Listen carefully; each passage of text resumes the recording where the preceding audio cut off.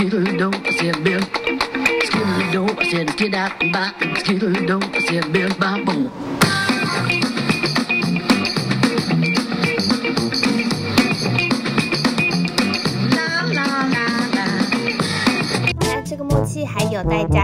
原子少年受邀担任展览特使，人气直线上升的他们坦言相当意外。首先，当然就是要谢谢很多粉丝朋友们，谢谢他们这么喜欢我们，就是谢谢大家。然后就是，如果快卖完的话，我觉得我觉得是有点夸张啊，因为连我们自己内部的节目组他们自己也吓到了。少年们红透半边天，节目即将进入尾声，男孩们也透露未来给自己的期许。我是蛮想要就是出一首歌的，自己出一首歌的。如果可以的话啦，想自己唱一首歌，但是我觉得那应该还要过很久。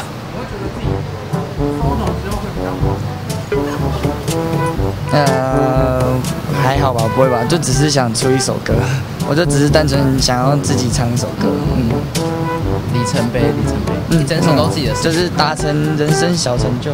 想自己 solo 歌曲，小孩有没有准备好自己面对镜头了呢？现场记者立刻来个临时考，可爱三连拍，害羞的小孩立刻以求助的眼神望向哥哥们。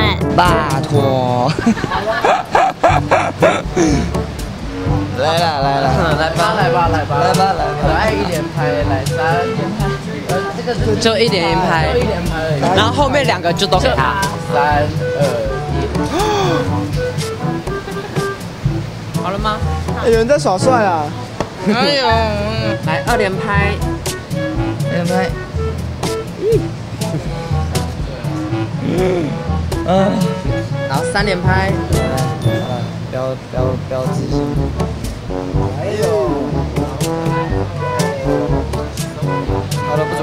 哎呀，男孩们实在太可爱，难怪不少粉丝捧在心里疼。只是粉丝那么多，有没有遇过疯狂粉丝呢？妈妈倒是蛮多的啊，求婚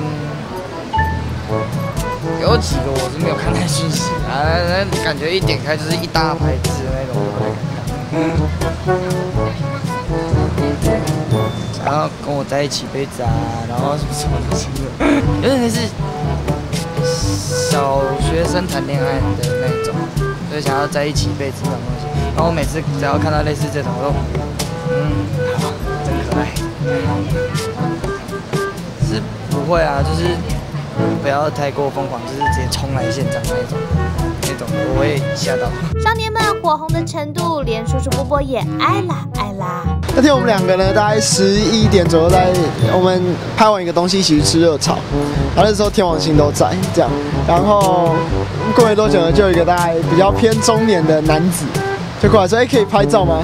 我们以为他是只是看到我们妆发到，所以可能觉得我们好像有点像明星的样子，所以让我们拍照。然后我们就有点呃，哦可以啊，然后就突然说天王星嘛，对不对？我就想到，哎呦，我们年龄层怎么这么广这样？这是真的红啊，连大叔也无法招架天王星的魅力，期待少年们正式出道啦！